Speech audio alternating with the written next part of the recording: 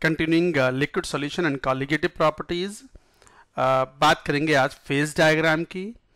Heading uh, लिखेंगे phase diagram of pure substance phase diagram mixtures के भी होते हैं बट अभी हम बात करेंगे phase diagrams of pure substance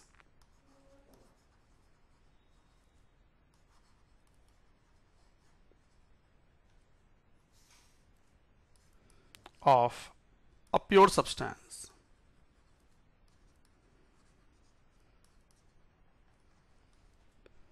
तो किसी प्योर सब्सटेंस का फ़ेज़ डायग्राम की बात कर रहे हैं यहाँ पर। फ़ेज़ हमने डिफाइन किया ही था। It is the region of the matter और the part of the matter which has uniform composition and uniform physical and chemical properties in the given physical state वो कहलाता है फ़ेज़ फ़ेज़ और physical state अलग अलग हो सकती हैं। एक ही फ़िज़िकल स्टेट में एक से ज़्यादा फेजेज हो सकती हैं। जैसे मैंने एग्ज़ाम्पल लास्ट वीडियो लेक्चर में दिया भी था। आप वहाँ पर वो जाकर के देख सकते हैं। जैसे diamond and graphite both are solid room condition and these are two different phases तो फ़िज़िकल स्टेट्स सेम हो भी सकती हैं डिफरेंट भी हो सकती हैं। तो allotropic forms of a substance are also the different phases जैसे phosphorus white red black all are examples of the different phases जैसे sulphur monoclinic sulphur rhombic they are the different phases तो phase uh, diagram क्या है? It is P versus T diagram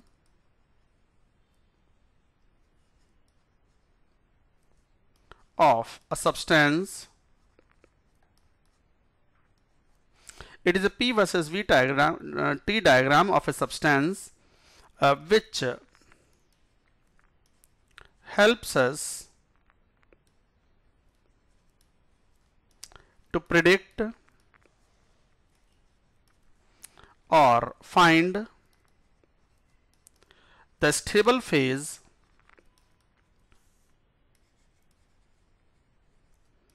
of substance at. Given pressure and temperature conditions. तो किसी given pressure and temperature पर substance किस phase में stable होगा? ये बात हमें ये जानकारी हमें कौन देगा? फ़ेज़ डायग्राम तो फ़ेज़ डायग्राम एक बार बनाएँगे। फ़ेज़ बाउंड्री एक टर्म यूज़ करते हैं।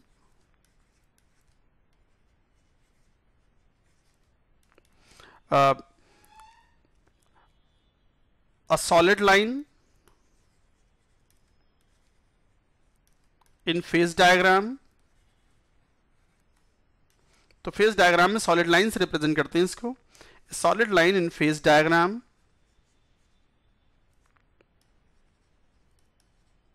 which separates two phases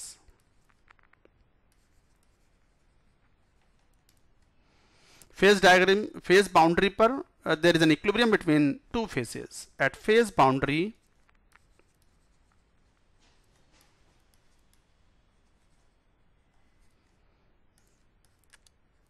two phases are in equilibrium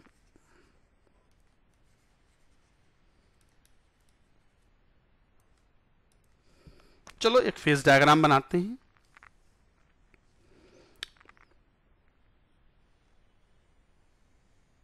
ठीक है, सीधा खींच गया, बढ़िया है। वाह। Pressure versus temperature. ये फ़ेज़ डायग्राम थोड़ा सा बड़ा बना रहा हूँ मैं, ताकि सारी बातें मैं रिप्रेजेंट कर पाऊँ। ये कर्व्ड पाथ है like this this is also curved ये एक वर्टिकल लाइन ड्रॉ कर ली।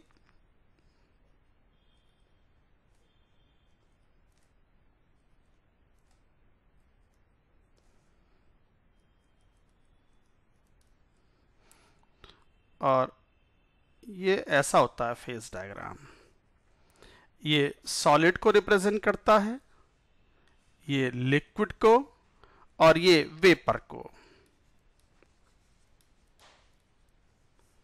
मान लो ये वन एटमॉस्फियर है।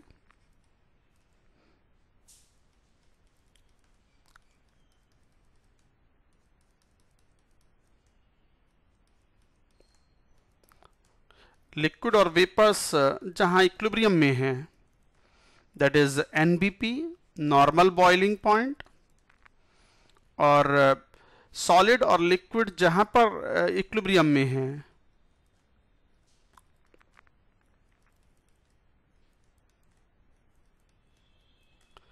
this is NFP normal freezing point this point जहां पर तीन फेज इक्विलिब्रियम में है that is called triple point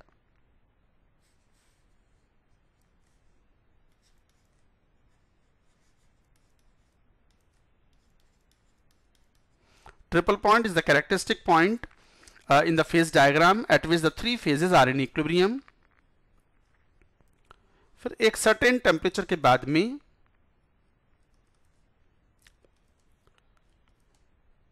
distinction between the liquid and vapor is no more uh, recognizable and this temperature is called critical temperature Tc. So this is the critical point.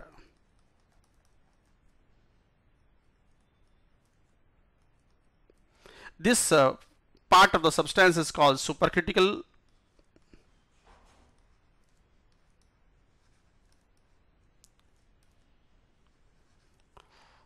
supercritical substance or supercritical uh, fluid. This is called gas. ये बात तो आपको gaseous state में idea लगता है जब री जब हम बात करते हैं अबाउट द रियल गैसेस तो वहाँ critical temperature critical phenomena define करते हैं लिक्विफैक्शन ऑफ़ गैसेस तो वहाँ कहते हैं कि if the temperature of the substance is less than the TC critical temperature then it is called vapour more than the critical temperature it is called gas this is super critical fluid and this is compressible liquid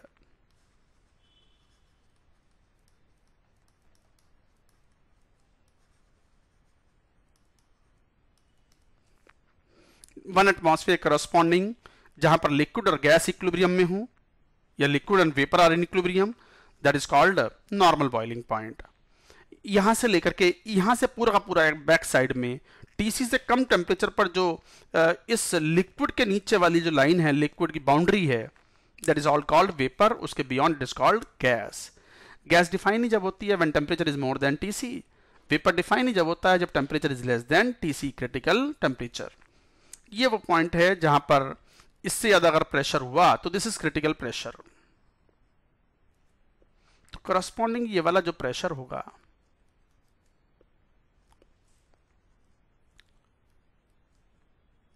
this is PC critical pressure and this is critical point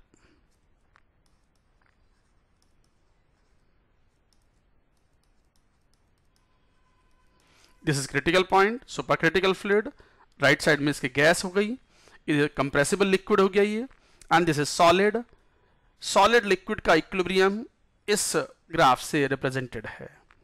liquid gas का ये curved graph, जो इसे सब बोलते हैं phase boundary. Boundary को define भी किया था हमने, जहाँ पर दो फेजेस इक्विलिब्रियम में हों। और यहाँ से यहाँ तक का जो पोर्शन है, ये सब्लिमेशन को रिप्रेजेंट करता है।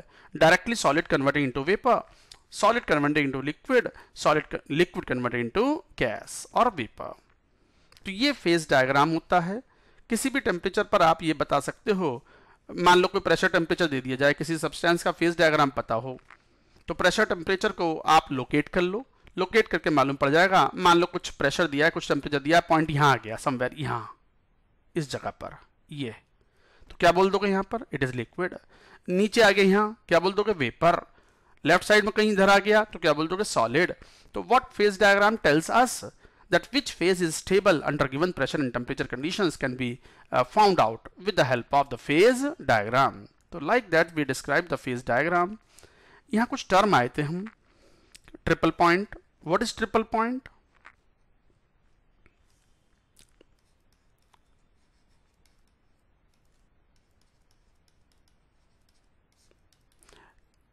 characteristic points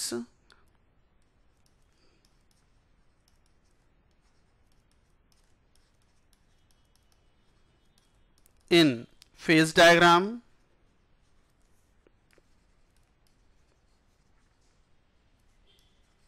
Of a substance. Characteristic, characteristic points in phase diagram of a substance where three phases. Are in equilibrium. Equilibrium is always a dynamic equilibrium होते हैं, are in equilibrium with each other.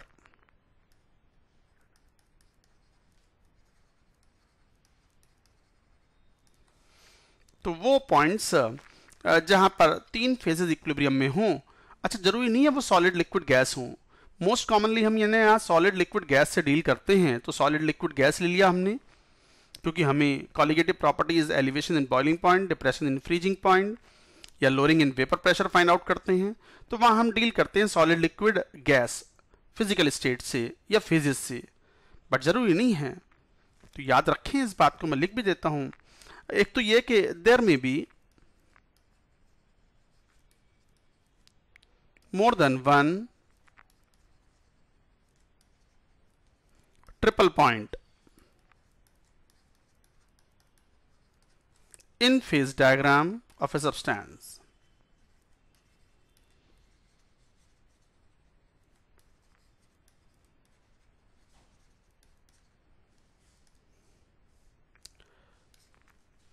अच्छा at triple point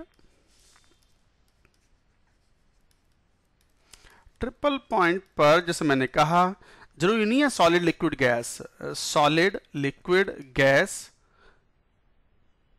in equilibrium? Or two solid and one liquid. Or one solid and two liquids तो at triple point solid liquid gas भी equilibrium में हो सकते हैं। Two solids one liquid equilibrium में हो सकता है। One solid two liquids may be in equilibrium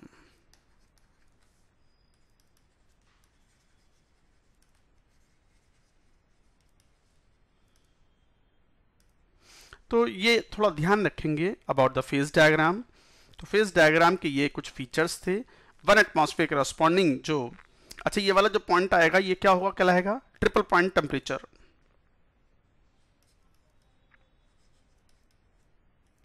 Triple point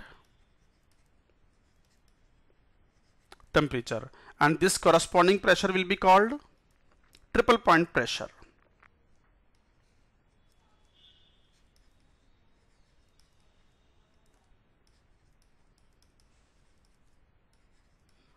So like that we describe तो ये था जनरल फ़ेज़ डायग्राम तो इसको लिख भी देते हैं यहाँ. जनरल फ़ेज़ डायग्राम ये जनरल फ़ेज़ डायग्राम है. Most of the substance will have the phase diagram like this but H2O के लिए वाटर के लिए फ़ेज़ डायग्राम थोड़ा सा डिफरेंट होता है. Particularly the equilibrium of solid and liquid तो लिखेंगे फ़ेज़ डायग्राम ऑफ़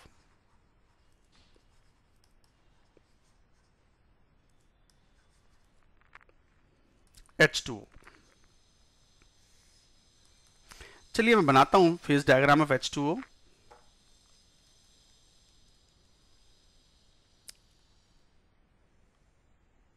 ठीक।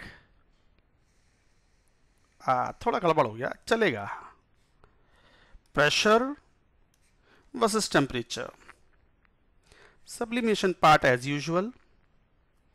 Vaporization part is as also as usual. Curved path होते हैं ये सब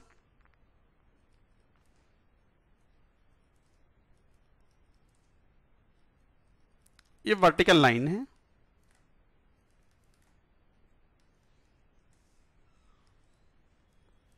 हाँ यहाँ ट्रिपल पॉइंट होगा और यहाँ से थोड़ा सा फेस डायग्राम डिफरेंट होता है आइस के लिए लिक्विड वाटर या एच के लिए। उसमें स्लोप पॉजिटिव होने की बजाय स्लोप जो है सॉलिड लिक्विड का थोड़ा नेगेटिव होता है। Graph would be like this like this थोड़ा सा inclined towards left with the negative slope this is solid this is liquid and this is vapor बहुत हाई टेम्परेचर कर देंगे तो ये TC बन जाएगा मान लो क्रिटिकल टेम्परेचर बाकी वो पैरामीटर्स जो हैं वो मैंने बताए हुए हैं। ये TC हो गया। ये सुपर क्रिटिकल फ्लूड सब हो गया। This is critical point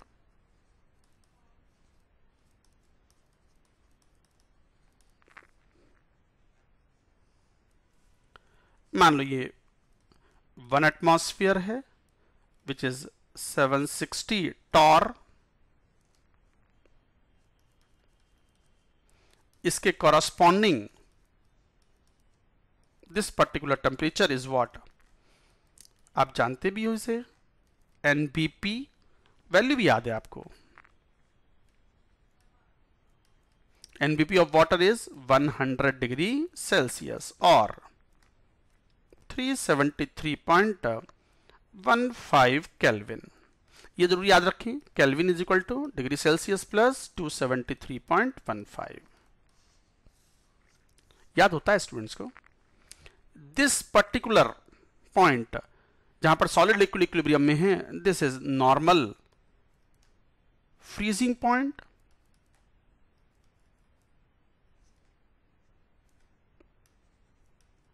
NFP which is 0 degree Celsius or 273.15 Kelvin. ये ट्रिपल पॉइंट हो गया। कोरस्पॉन्डिंग प्रेशर ट्रिपल पॉइंट का भी याद रखेंगे। वाटर के लिए तो डेटा याद रख लें। Water is the most common solvent for us तो this is 4.58 torr and corresponding this temperature for triple point is 0.01 approximately degree Celsius or 273.16 Kelvin. ये ट्रिपल पॉइंट हो गया।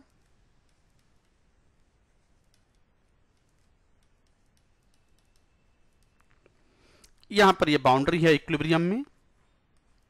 Phase boundary sublimation freezing vaporisation अब बात आती है कि ये मैंने पैरामीटर्स भी दे दिए आपको। ये नॉर्मल बॉइलिंग पॉइंट है 100 डिग्री सेल्सियस यहाँ से दिखता भी है। अगर एक्सटर्नल प्रेशर डिफरेंट हो तो boiling point will be different infinite values of the boiling points are possible for a liquid depending upon the external pressure ये बात हमने, आपको याद हो तो वेपर प्रेशर वाला जो हमारा वीडियो लेक्चर था, अभी जो हमने रिकॉर्ड किया था in liquid solution the very first lecture उसमें ये बात कही भी थी। अब यहाँ पर बात आती है कि सर नॉर्मल फेस डायग्राम जो आपने इससे पहले बनाया है, कहा? देखो ऊपर वाला, ये। ये रहा। इसमें सॉलिड लिक्विड का जो इक्विलिब्रियम की जो फेस बाउंड्री है, उसका स्लोप मोस्टली पॉजिटिव है यहाँ। पूरे में पॉजिटिव है।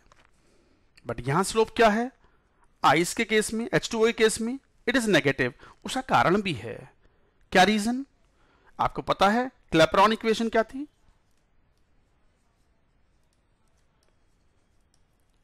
क्लेप्रॉन इक्वेशन क्या थी? dp upon dt would be equal to delta S upon delta क्या आया था? v. अब एक बात ध्यान दो delta v is nothing but Clapeyron equation for solid liquid boundary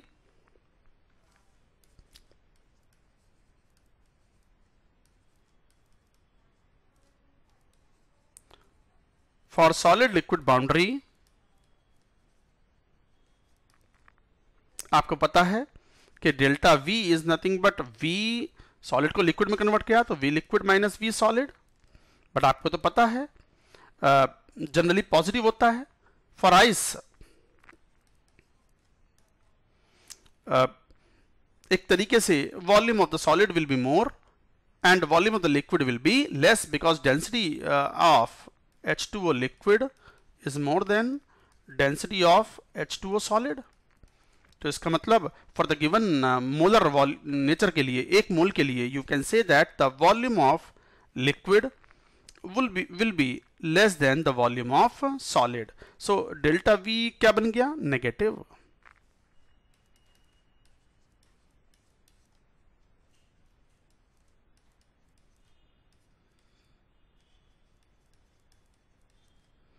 is negative तो इसका मतलब dp अपॉन dt का जो स्लोप हो गया तो इसका मतलब dp अपॉन dt नेगेटिव है। ये स्लोप ही तो था।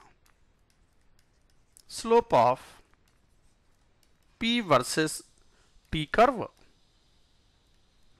for solid liquid boundary that is negative slope negative है। तो फिर ग्राफ भी देखो एक्सेप्शनल ये रहा। ग्राफना तो बस ये पॉइंट बताने के लिए कि सॉलिड लिक्विड में जो फेस बाउंड्री होती है, उसका स्लोप नेगेटिव होता है इन आइस और in liquid water and that is positive in rest of the most of the cases so that is the difference of the phase diagram so this is the triple point this is sublimation part this is freezing और melting part this is vaporisation part all that is going to be needed when we talk about the various colligative properties तो ये था phase diagram phase diagram of the substance that you should remember the features of the phase diagram directly JEE में questions नहीं आते हैं but फिर भी मुश्किल नहीं है, आसान है, थोड़ा समझेंगे तो स्टूडेंट्स को एक अच्छी फील आएगी so that questions related to the liquid solutions can be easily done that's it for now thank you